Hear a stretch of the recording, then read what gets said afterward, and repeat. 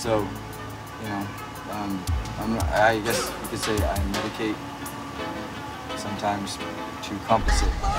What you want, what you want, what you gonna do when Sheriff John Brown come for you?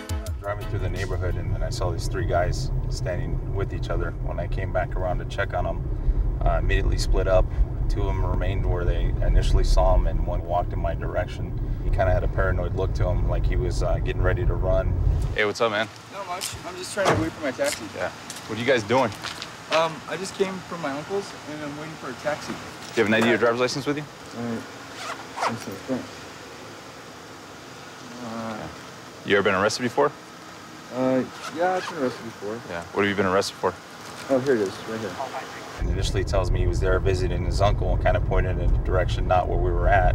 It was just kind of odd to me that he'd be waiting there for a taxi and not at his uncle's house. Knowing that this area was known for narcotics, I, I asked if I could search his pockets. Got even more nervous and said that I couldn't search his. In the meantime, dispatch center tells me that he had an active misdemeanor warrant for um, for battery on a police officer. Just based on his behavior, I kind of knew that there was a reason why he didn't want me to check his pockets. So I went ahead and asked him if there was anything in his pockets he wanted to let me know about ahead of time. Okay, so um, does honesty do any good right now? Yes, probably. stand up, No, stand listen, man, listen. stand up. I have, I have, I have a little bit of something in my pocket. Yes. Do you have anything that's going to stab or poke me?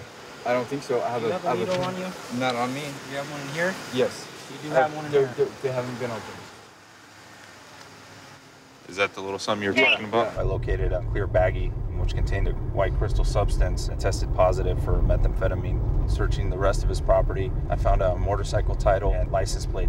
Uh, let's just say that like um, I uh, medicate sometimes Mm-hmm. because right now I'm under a lot of pressure. I'm getting a house um, sold in escrow, but we only have two more days to get everybody out of the house and get everything out. I should, probably should be on medication Mm-hmm. for um, uh, like uh, manic depressive. Mhm. You know, so it's um, I'm an artist and it's one of those things. So does the methamphetamine it's kind of kinda- like help kinda you out, or it's not, it's not the same thing as like it is for somebody else.